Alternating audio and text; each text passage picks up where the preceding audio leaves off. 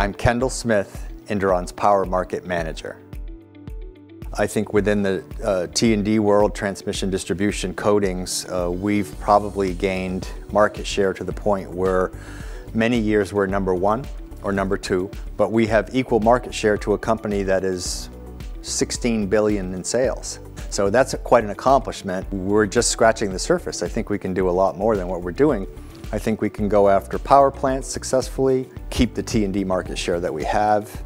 There's a lot of room to grow in substation painting, so it's a, latent market that's ready to explode, I would say.